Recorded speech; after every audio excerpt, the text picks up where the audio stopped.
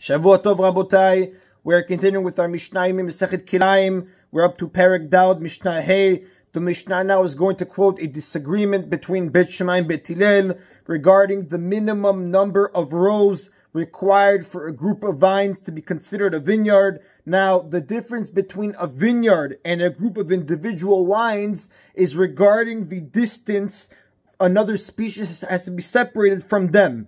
For an individual vine, you need a separation of six tfachim. For a vineyard, you need a separation of four amot. So now the Mishnah says, If a person plants a single row consisting of five vines, Bet Shammai Omrim Kerem, Bet Shammai say it's considered a vineyard, Bet Hillel Omrim Eno Kerem, but Bet Hillel say it's not considered a vineyard. Ad shiyusham shurot until there are two rows with a total of at least five vines. Now, Rabotai, the Mefarshim explain. Five vines is the minimum required to be considered a vineyard. According to Bet Shammai, all five can be, even be in a single row. Whereas according to Bet Hillel, a single row, no matter how many vines it is, is always considered a collection of individual vines. In order for vines to be classified as a vineyard, Bet Hillel says they have to be in two rows with one row containing three vines and another row containing two. And this is how the Rambam explains likewise in his Chod Kilayim, chapter 7, halacha 1 and 2. Now, Bet Shammai's ruling in the previous case is stricter than Bet Hillel. Why? Because according to Bet Shammai, since a single row is considered a vineyard, it's forbidden to plant seeds within four amot of it. But according to Bet Hillel, it is permitted to plant seeds just six tvachim away, since a single row is not considered a vineyard. And Rabotai, just to point out, six tvachim is one amah. So Bet Shammai being much stricter if it's a single row, a single, a single row to consider it a vineyard, That you need four amot separation between that and another species that you want to plant. However, the Mishnah is going to tell us now a situation where Bet Shammai is more lenient than Bet Hillel. Lefikach, therefore, if a person plants seeds within the four amot workspace of a full vineyard, thereby prohibiting the vineyard, Bet Shammai Bet Shammai say, Kidesh achat, Kidesh, even though it generally means to make something holy, here in this Mishnah in general, the Masechet, the word Kiddush is going to, Kiddush is going to be used in a sense of making the fruit or produce forbidden for benefit. That's how the Rambam explains it based off the verse that we're going to quote soon. So the fikach, somebody who, therefore, if somebody plants seeds within the four amot work area of a full vineyard and thereby prohibits the vineyard, he has forbidden only one row of the vineyard as kilayim, since one row is enough to be considered a vineyard.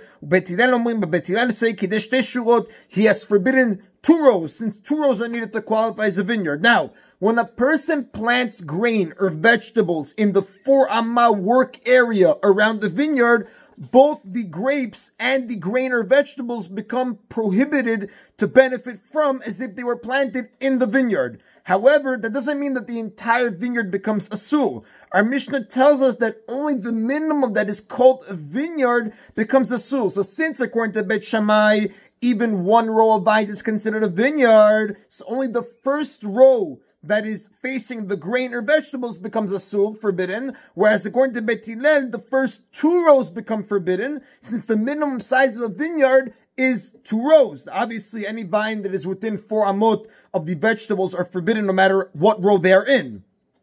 And the Rav goes on to explain that we learned this from a pasuk quoted in Sefer Dvarim that is um, brought down by the Mefarshim at length to explain how we learn out this halacha. That is in Rabotai of Mishnah Hey.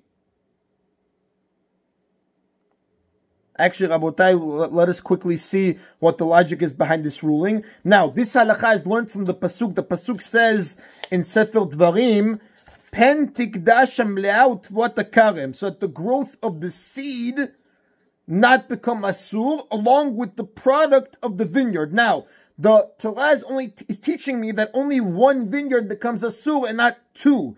Basically, the Torah is saying that a large vineyard with many rows of vines is considered as a group of vineyards going together. Therefore, only the one vineyard that is within the four amot of the grain or vegetables become a asur. According to Bet Shammai, that's the first row. According to Bet Hillel, it is two rows. That is in Rabotai Mishnah Hey.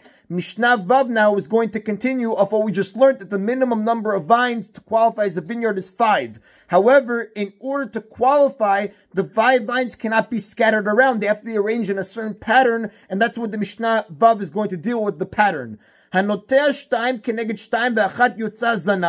If a person plants two vines facing two other vines and one additional vine sticking out like a tail, that's considered a vineyard. Now, Rabotai, the Rav explains, and Mefarshim point out, in order to qualify as a vineyard, five vines have to be arranged in the following pattern. The first two vines in each row are planted opposite each other. So you have one, two, one, two. While the third one in one of the rows sticks out beyond the other two like a sort of tail.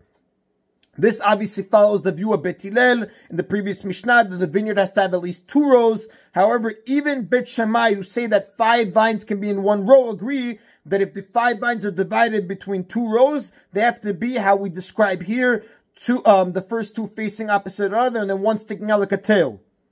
Shtaim keneged shtaim ve'achad bentayim. However, if he plants two vines facing two other vines and plants one vine in between two of the others, so that the middle vine in one row is facing the empty space between the two vines in the other row. And the way to say it is we have two vines, one, and then two vines. The Mishnah says, O keneged shtaim ve'achad be'emtza, or two vines facing two vines and one vine in the middle, facing the empty spaces on all four sides of it. So basically you have one vine, one vine, middle, one vine, one vine. Basically four vines making four corners of a square and the fifth one in the center. And kerem, that's not considered a vineyard. Rather, we treat them as individual vines, which six tvachim of separation is enough.